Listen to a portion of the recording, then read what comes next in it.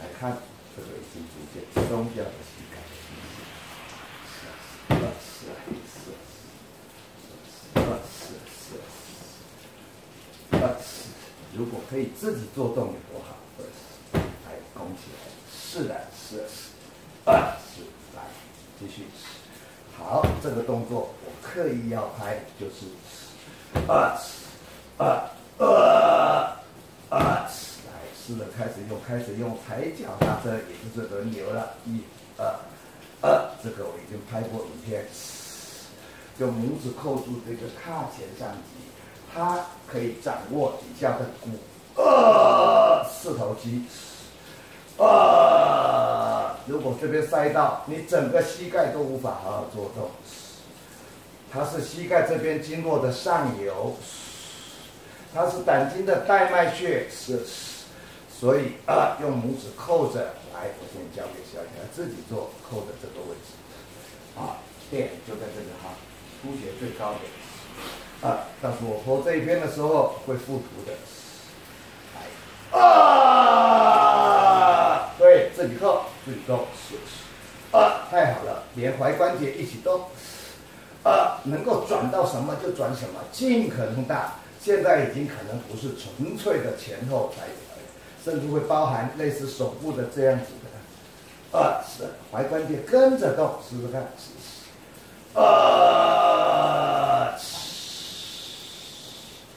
哇，好，关键穴点还是需要。呃，是，啊。这个位置，我在二是二是所谓跨年的贺两景贺岁片里面有哈，呃，这个位置髂前上级，这个位置叫做耻骨结节，它们两个之间呃有一个腹股沟韧带是呃呃是呃是。稍微靠近一点哈，是是是是，是是是是是，啊，就在这个腹股沟韧带底下，有三个超级重要的东西，啊，在外，在我会附的那张图里面，呃，黄色的是一组的神经要下去，是下来你会看到。红色的动脉要下去，是，你还会看到蓝色的静脉要回来。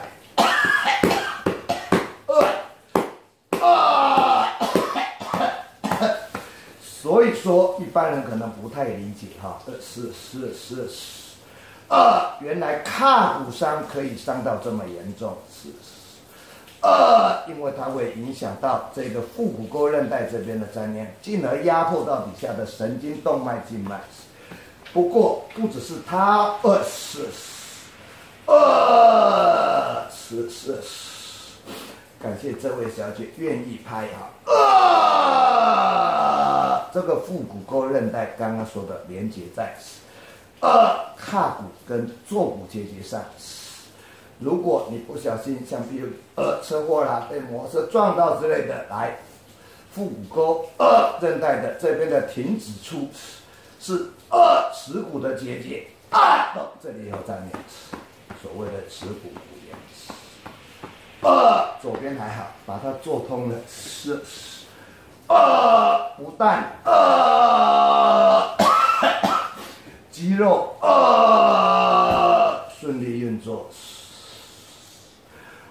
动脉顺利下行，静脉顺利上行，神经元正常压运作，不会被压迫。是是。